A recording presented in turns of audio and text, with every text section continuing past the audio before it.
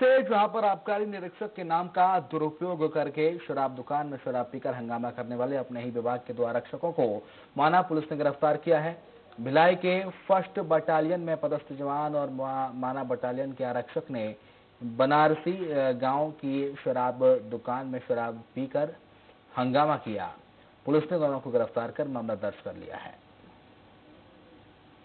ये दोनों शराब दुकान माना में दोनों गए और अपने आप को अजय शर्मा सब इंस्पेक्टर बताकर और शराब पी वहाँ बैठ के पिए और चखना भी पिए और उनको धमकी धमकी भी गाली गिरफ़्तार कर रहे थे कर्मचारी से।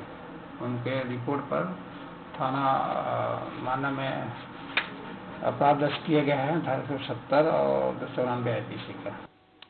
टिड्डियों का एक दल छत्तीसगढ़ में प्रवेश कर गया है।